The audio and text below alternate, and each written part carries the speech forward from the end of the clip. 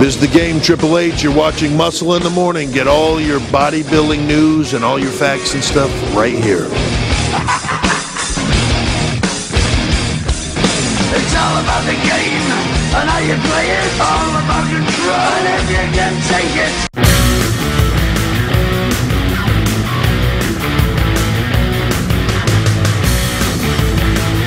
Welcome back to Muscle in the Morning, brought to you by Iron Mag Labs.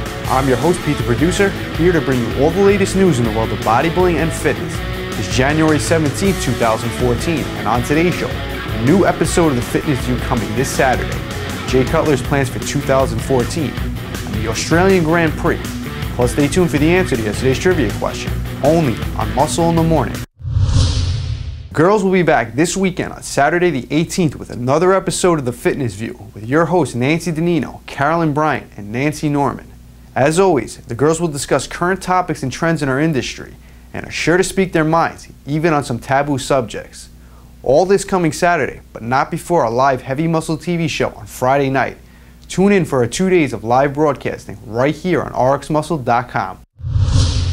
With the new year, Jay Cutler fills us in on his plans for 2014, confirming once again he will not be competing in the 2014 Olympia, and his plans to focus on his nutrition company and Cutler Athletics line. Although he will not be hitting the stage, he's still going to be heavily involved in the industry, and you are sure to see him in attendance at all major events.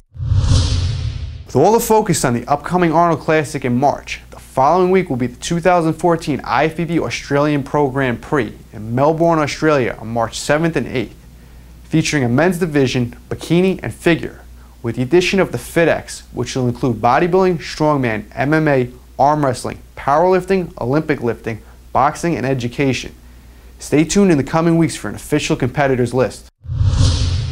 Now for the answer to yesterday's trivia question. The question was, Mike Mentzer had won his weight class with a perfect score, but lost to Frank Zane for the overall in what contest? And the answer?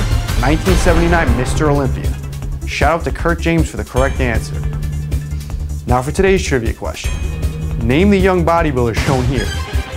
Don't forget to tune in tomorrow for the answer. And that does it for another edition of Muscle in the Morning, brought to you by Iron Mag Labs. I'm your host, Pete the Producer. See you tomorrow. And make sure to follow us on Twitter and Facebook.